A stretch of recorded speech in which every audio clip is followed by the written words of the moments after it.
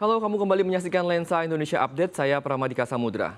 Taman Nasional Yellowstone di Amerika Serikat akhirnya kembali dibuka setelah dilanda bencana banjir bandang beberapa waktu lalu.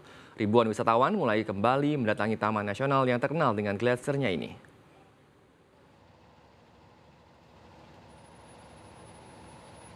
Antrean kendaraan kembali mengular di sejumlah akses masuk Taman Nasional Yellowstone, Amerika Serikat.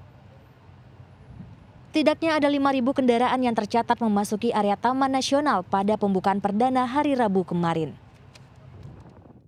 Sebagian besar wisatawan yang datang merupakan pengunjung yang sebelumnya telah memesan paket perjalanan namun terkendala penutupan sementara.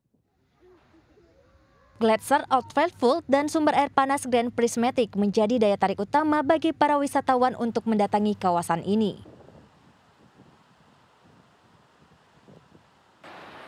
Here in Yellowstone, uh, obviously Old Faithful, and it couldn't have been a more perfect eruption because there was a bison that was wandering, meandering about in front of the geyser as it went off.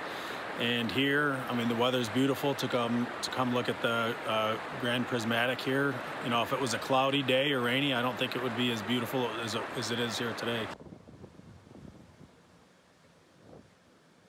Sebelumnya, Taman Nasional Yellowstone ditutup sejak 13 Juni lalu akibat bencana banjir bandang dahsyat yang menerjang kawasan ini. Setidaknya 10.000 wisatawan yang berada di dalam kawasan Taman Nasional terpaksa dievakuasi keluar kawasan saat peristiwa tersebut terjadi.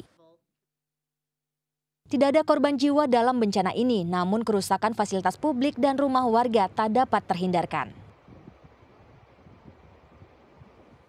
Demikian Lensa Indonesia Update kali ini. Kami kembali mengajak kamu untuk selalu menerapkan protokol kesehatan. Caranya gunakan masker dengan benar, selalu menjaga jarak, dan pastinya jangan lupa cuci tangan dengan sabun di air mengalir. Saya Pramadika Samudra, sampai jumpa.